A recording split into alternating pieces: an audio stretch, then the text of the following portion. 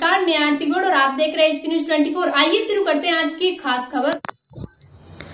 राजगढ़ ज़िले में सभी विधानसभा पर अब भाजपा ने भी नाम फाइनल कर दिया है।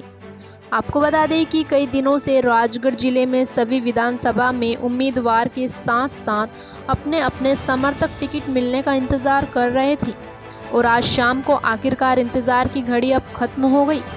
इधर बात की जाए बीजेपी की पांचवी सूची में राजगढ़ में अमर सिंह यादव नरसिंहगढ़ से मोहन शर्मा, ब्यावरा से नारायण सिंह पवार और सारंगपुर से गौतम टेटवाल को मिला टिकट। इधर टिकट मिलने से गांव-गांव भाजपा कार्यकर्ताओं ने आतिशबाजी करते हुए खुशियाँ मनाई। देखिए पूरी खबर मंडावर से, होकम प्रजापति की रिपोर्ट।